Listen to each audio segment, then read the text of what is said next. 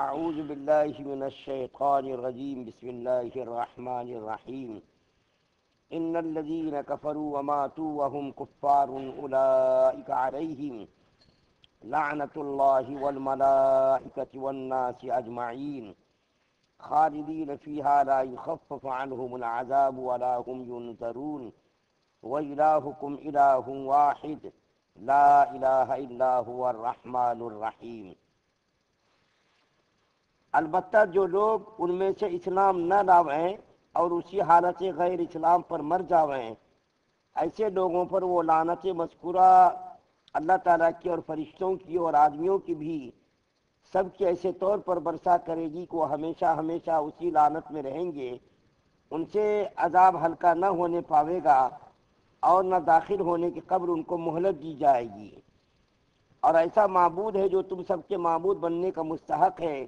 وہ تو ایک ہی معبود حقیقی ہے، اس کے سوا کوئی عبادت کے لائق نہیں۔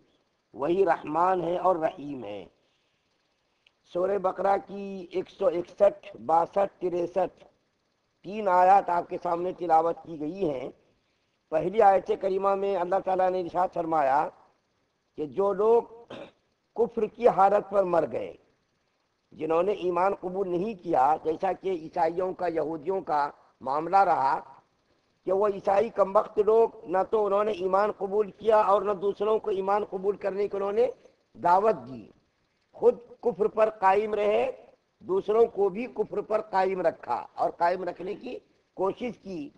تو اللہ تعالیٰ کیا فرما رہے ہیں کہ جو لوگ ایمان نہیں لائے اور کفر کی حالت پر ان کا انتقال ہو گیا، تو ایسے لوگوں پر اللہ کی لانت فرشتوں کی لانت اور تمام مخلوق کی لانت کافروں پر۔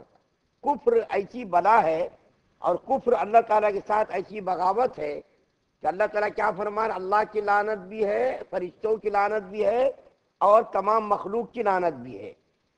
لیکن یہاں پر ایک بات یاد رکھنے کی ہے کہ اللہ کی لانت فرشتوں کی لانت اور تمام مخلوق کی جو لانت ہے، اللہ تعالیٰ نے عام اس کو رکھا ہے۔ خاص کسی کا نام لے کر کے نہیں کہا۔ جب کسی کا خاص نام نہیں لیا تو ہم کو بھی کسی خاص آدمی پر لانت کرنے کی اجازت نہیں ہے۔ جب تک کہ کسی کے بارے میں معلوم نہ ہو جائے، تحقیق کے طور پر کہ فنا آدمی کا انتقال، فنا آدمی کی موت کفر پر ہوئی ہے، اس وقت تک نام لے کر کے لانت کرنے کی اجازت نہیں۔ اللہ تعالیٰ قرآن کے اندر فرماتے ہیں، قل یا ایوہ الکافرون۔ عام کر کے کہا اے محمد صلی اللہ علیہ وسلم، کافروں سے آپ کہہ دیجیے۔ نام لے کر کے اگر اللہ تعالیٰ نے کسی کو کہا ہے اور کسی کے انتقال کا یقینی طور پر کفر پر ہونا معلوم ہو تو اس کے اوپر تو لانت کرنا جائز ہے۔ لیکن ہم لوگوں کو کیسا معلوم آج ہوگا؟ دنیا سے ہمارا نبی صلی اللہ علیہ وسلم تشریف لے گئے۔ جب تک دنیا کے اندر ہمارے نبی صلی اللہ علیہ وسلم موجود تھے، جب تک تو ہم کو معلوم ہونے کا کچھ اندازہ تھا۔ ہم کر سکتے تو ویسا لیکن جب اللہ کا رسول صلی اللہ علیہ وسلم دنیا سے تشریف لے گئے تو اب کسی کے بارے میں جب تک تحقیق نہ ہو جائے، فنا آدمی کی موت کفر پر ہوئی ہے، تو اس وقت تک کسی کا نام لے کر کے خاص آدمی کو لانت کرنا اور اس کو ملون قرار دینا یہ جائز نہیں۔ جیسا کہ دیکھیے، اللہ تعالیٰ نے کچھ ایسے لوگ ہیں جن کو اللہ تعالیٰ نے نام لے کر کے کہا کہ وہ کافر رہے، کفر کی حالت پر مرے۔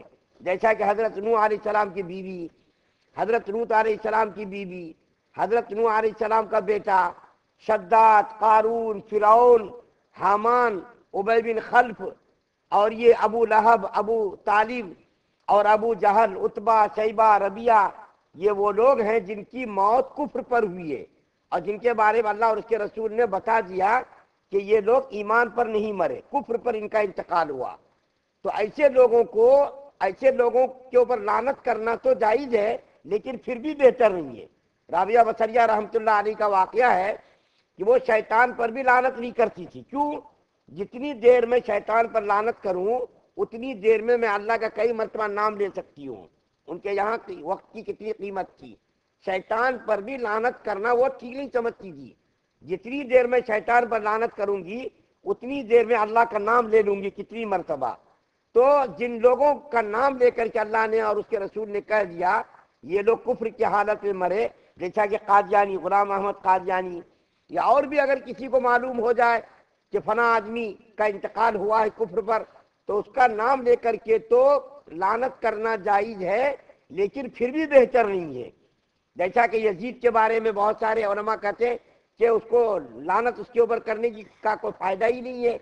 اس کا معاملہ اللہ کے ساتھ اس کا معاملہ ہے۔ تو بارے کہے اس آیت کریمہ کے اندر کافروں کے اوپر اللہ نے لانت فرمائی ہے۔ نام لے کر کے نہیں کہا کسی کا۔ ہم لوگوں کو بھی نہیں کرنا اس کے بارے میں آگے کیا کہتے اللہ تعالیٰ؟ ایسے لوگ جہنم کے اندر ہمیشہ ہمیشہ رہیں گے۔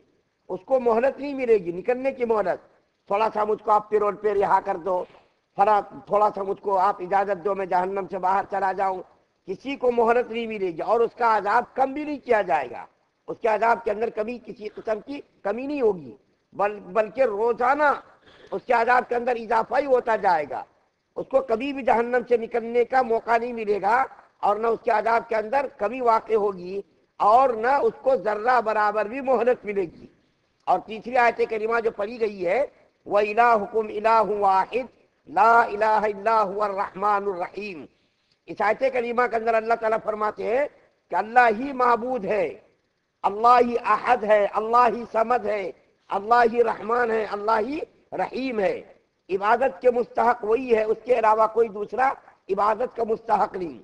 وہی رحمان، وہی رحیم، وہی اللہ، وہی سمت وہی جو ہے، کیا ہے؟ احد ہے، وہی واحد ہے۔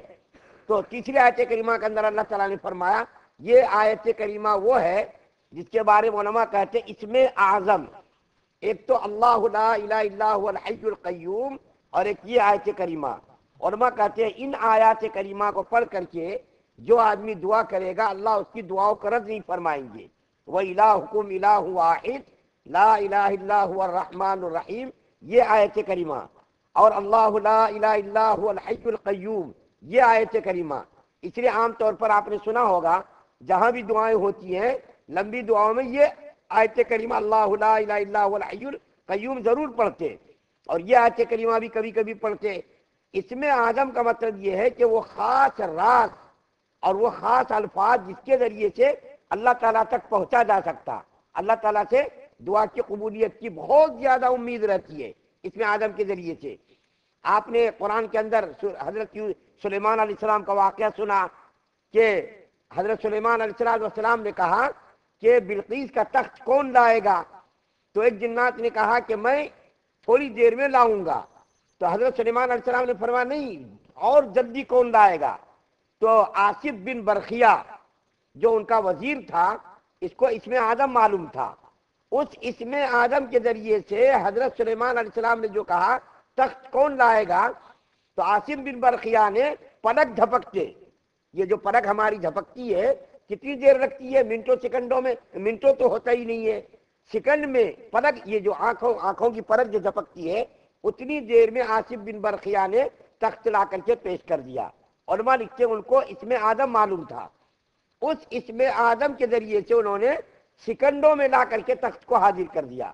تو ہم لوگوں کو بھی یہ دو دونوں آیتیں یاد کر لینی چاہیے اور ان دونوں آیات کو دعاؤں سے پہلے پڑھنی چاہیے اور اپنی مرادوں کو، اپنی حاجات کو، اپنی پریشانیوں کو، اپنی ضرورتوں کو اللہ کے سامنے پیش کرنا چاہیے۔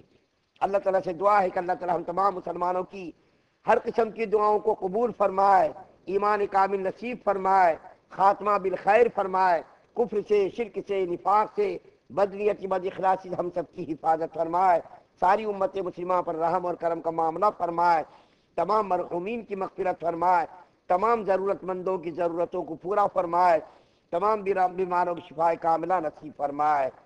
سبحان اللہ بحمدہ سبحانک اللہم بحمدک ونشہد اللہ